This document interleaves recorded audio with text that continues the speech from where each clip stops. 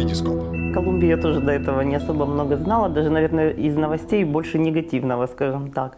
А, И поэтому летела с опаской, там почитала ин- информацию, там пообщалась. Вот. Но когда прилетела туда, а, ну, во-первых, это ночью случилось, да, я переночевала в гостинице, открываю шторы, а у меня там горы, все в зелени, ну, хорошие такие новые постройки, уже там ну, не небоскребы, но высотные такие дома. То есть, ну так, положительное впечатление вначале. Но когда стала общаться с людьми, мне еще больше понравилось.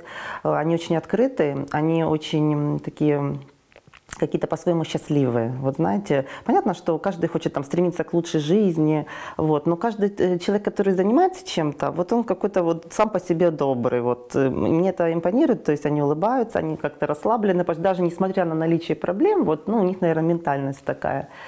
А, Мне понравилось то, что это как бы зима была, да, но температура, даже летом я узнавала, а, нет вот этой духоты и влажности сумасшедшей. То есть будет жарковато, я так понимаю, там 30 градусов, да, но в Донецке мы, когда у нас проходил чемпионат, у нас 37 там на, на стадионе, на чаше, то есть 40 было, когда это раскаленное все. Поэтому, может быть, будет идентично. Тоже есть, конечно, контрасты. Новые постройки и центр города, как исторический, да, там вот сохранились как раз вот эти вот там древние постройки, старые еще такие. Ну, в этом своя прелесть. Я думаю, что когда команда наша полетит в этом году туда, ну, тоже будет интересно познакомиться с культурой. Вот. И ну, что нужно будет немножко привыкнуть к чему, так это о том, что город Кали находится на высоте. Ну, как бы климатизацию небольшую нужно будет проходить.